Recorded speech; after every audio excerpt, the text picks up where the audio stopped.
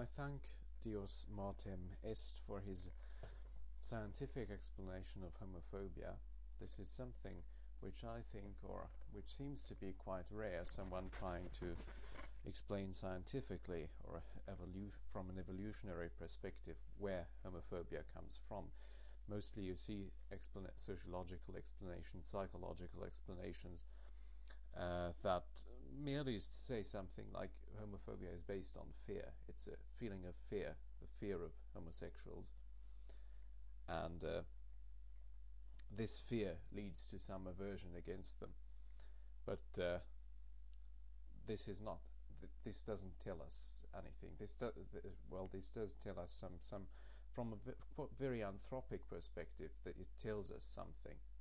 But uh, from an evolutionary perspective, it doesn't tell us anything about how homophobia could develop, about what led to homophobia, and uh, above all, how homophobia survived. So uh, Dios Martem Est uh, uh, gave, gave an interesting, get, get, tried to give us some insight into the evolution of homophobia. I'd like to criticize his hypothesis as he wished people to do. Um, where do I start? I will start uh, criticizing the, the uh, an important premise he used. Among his premises was that uh, homosexuality has no advantage evolutionarily speaking. And on this hypothesis, he he built up his hypothesis about the about the the generation or the survival or the the, the adaptiveness of homophobia. People who are homophobic who prevent homosexuality will have a better chance to, to reproduce because homosexuality has no advantages reproductively. This is his. This is what he said.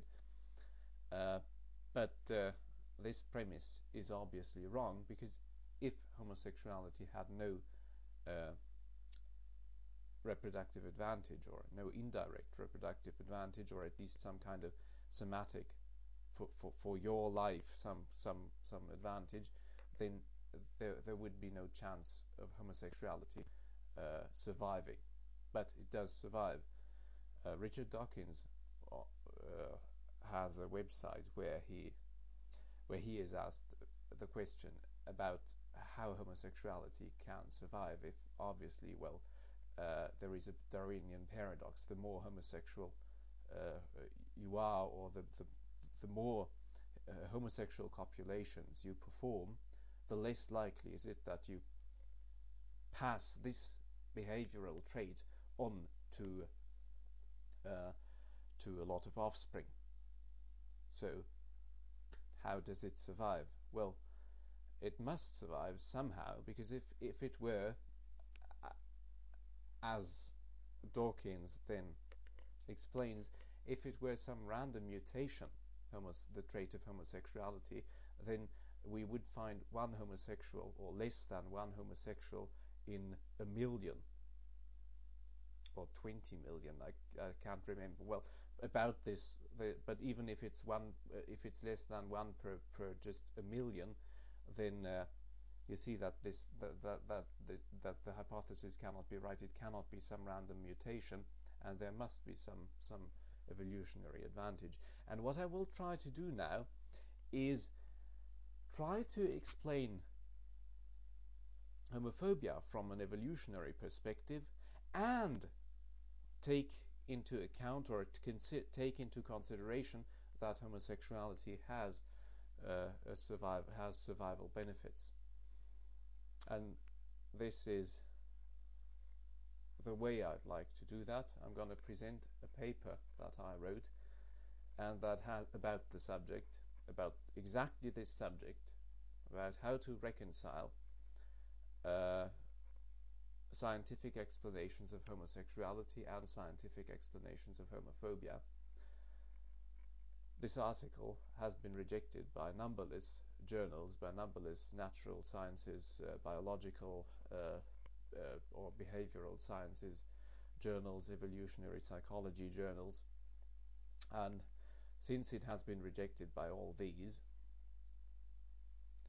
I try to choose a different medium of presenting the, my result, my explanation, and I will do that now. Let's see the article. I'll give I'll just read it and, and comment on, on some important points. So now I will explain to you how homophobia developed. Let's see. What's the time? Time elapsed.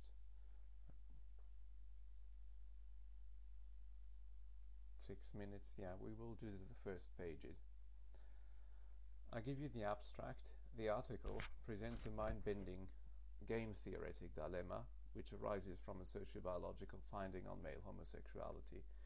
It follows the pattern of a paradox first evoked by Fisher's some st statistician, statistics guy.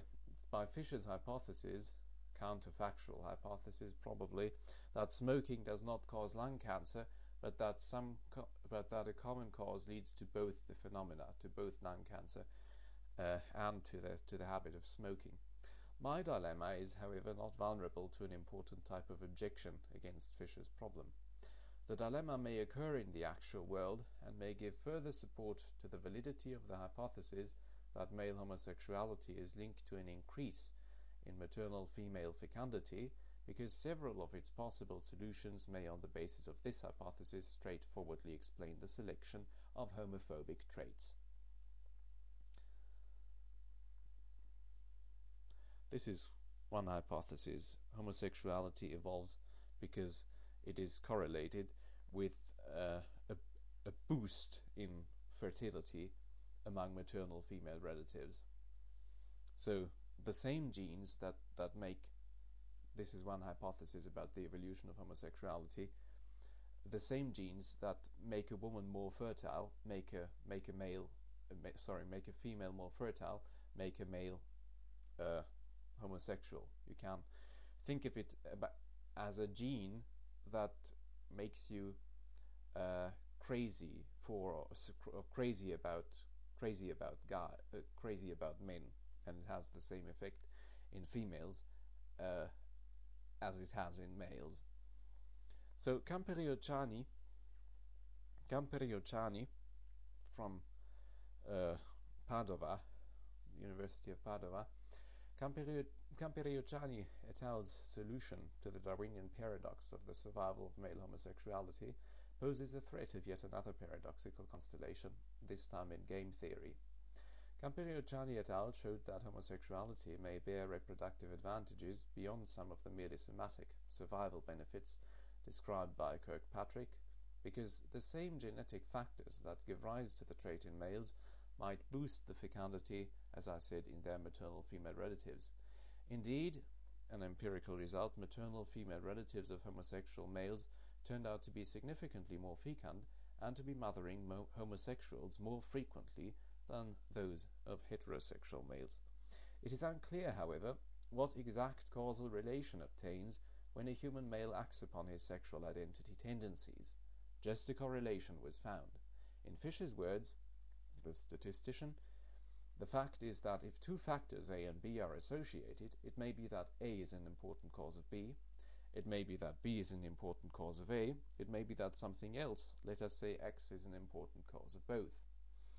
Therefore, this correlation leads to a type of game theoretic dilemma, first evoked by Fisher's hypothesis that smoking does not cause lung cancer, but that smoking and lung cancer are caused by one and the same third entity for example the person's genotype, provided that it is unchanging as of fertilization. See you in a second part.